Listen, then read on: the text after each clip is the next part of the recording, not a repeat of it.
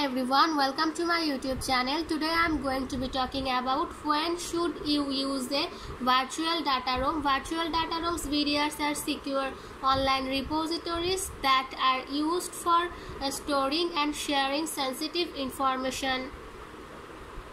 VDRs are a valuable tool for a wide range of business activities including merger and acquisitions, M&A, due diligence, investor relation, litigation, regulatory compliance, intellectual property, IP management, project management, board communication, HR management.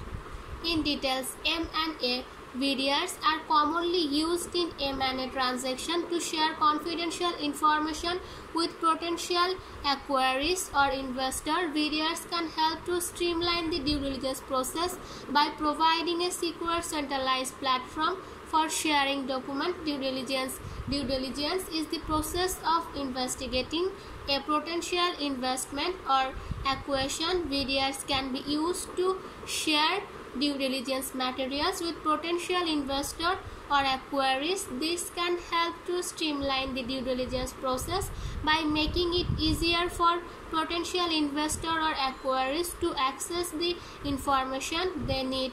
Investor relation VDRs can be used to share confidential information with investor. This can help to improve investor relation by providing investor with a secure and convenient way to access information about the company.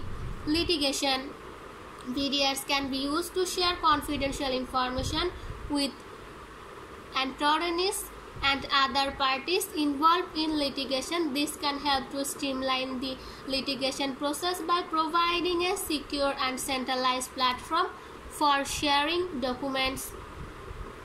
Regulatory compliance VDR can be used to store and manage documents that are required for regulatory compliance. This can help businesses to comply with regulations by providing a secure and organized way to store and manage documents. Intellectual property IP management VDRs can be used to store and manage confidential IP document. This can help businesses to protect their IP by providing a secure way to store and manage IP document.